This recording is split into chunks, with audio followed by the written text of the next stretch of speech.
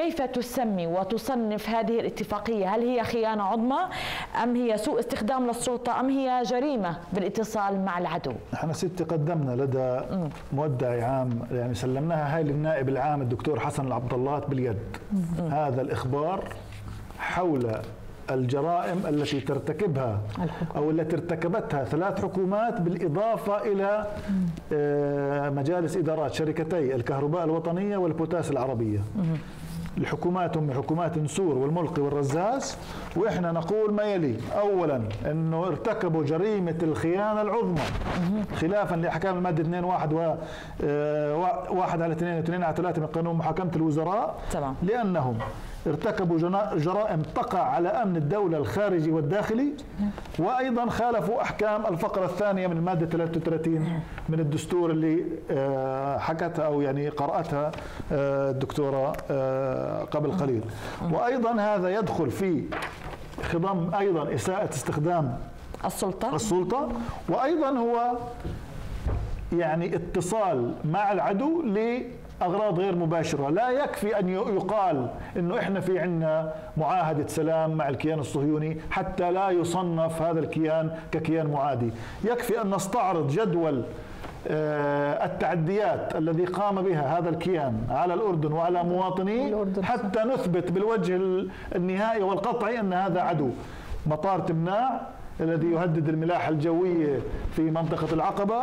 رائد زعيتر اللي قتلوه بدم بارد ولليوم بنسمع شو لجنة التحقيق بتقول. سيد المواطنين الاثنين اللي قتلهم حارس السفارة وحكومتنا العظيمة آه، ودته على بلد يستقبل نتنياهو استقبال الأبطال ودون أن يحاكم ويساءل واثنين مواطنين أردنيين عزل آه، بيروح دمهم هدر.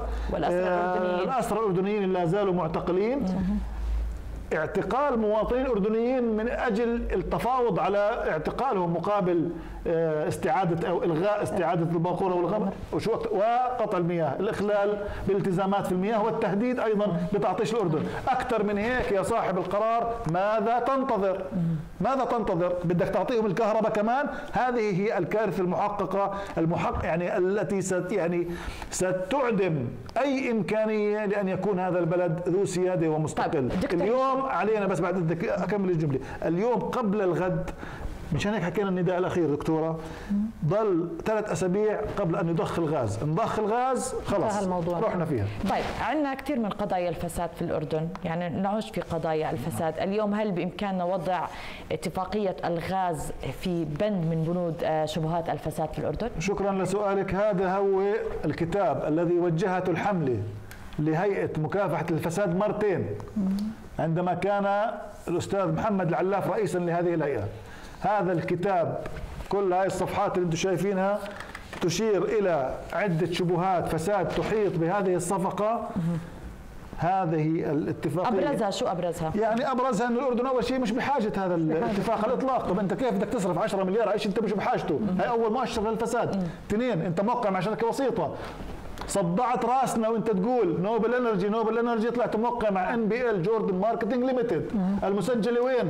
بجزر الكايمن. هي كمان مؤشر فساد. هناك تهرب ضريبي أيضا. هي مسجله في جنة التهرب الضريبي هم هم في هذه النقاط بالذات. بعد إذنك. آه طيب وين راحت هاي الشكوى؟ هدول 10 مليار مش 10 قروش